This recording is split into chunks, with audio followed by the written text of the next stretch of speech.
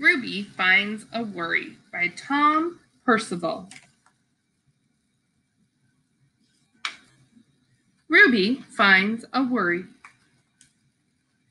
Ruby loved being Ruby. She loved to swing up high. And she loved to explore wild, faraway places.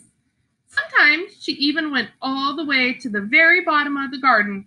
Ruby was perfectly happy until one day she discovered a worry. It wasn't a very big worry.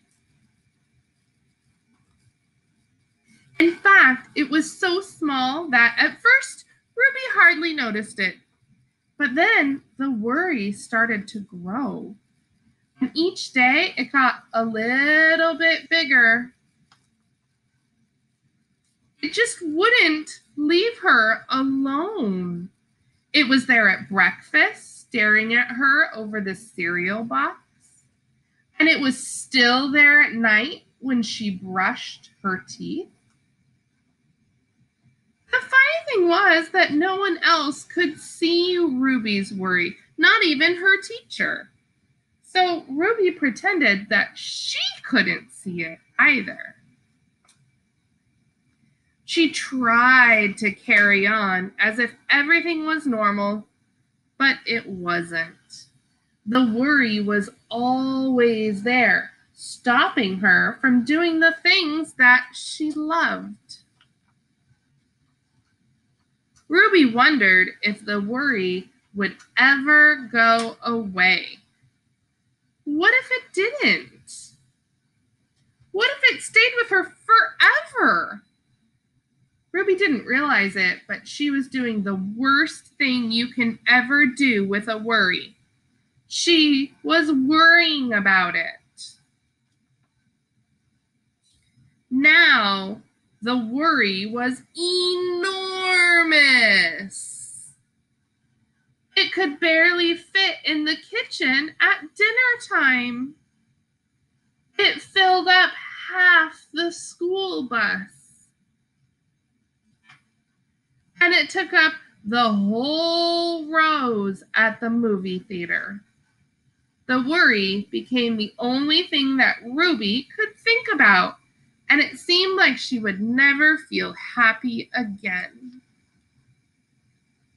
Then one day, something unexpected happened. Ruby noticed a boy sitting alone at the park. He looked how she felt sad. And then she noticed something else, something hovering next to him. Could it be a worry? It was! Ruby realized that she wasn't the only person with a worry after all. Oh, look, he has a worry. Has a worry, and she has a worry. Other people had them too. She asked the boy what was on his mind, and he told her. And the strangest thing happened his worry began to shrink. Then Ruby did the best thing you can do, ever do, if you have a worry. She talked about it. As the words tumbled out of Ruby's out, out, Ruby's worry began to shrink until it was barely there at all. Soon, both of their worries we're gone. Finally, Ruby felt like herself again. Of course, that wasn't the last time she ever had a worry. Everyone gets them from time to time. But now that she knew how to get rid of them, they never hung around for long. That was Ruby finds a worry.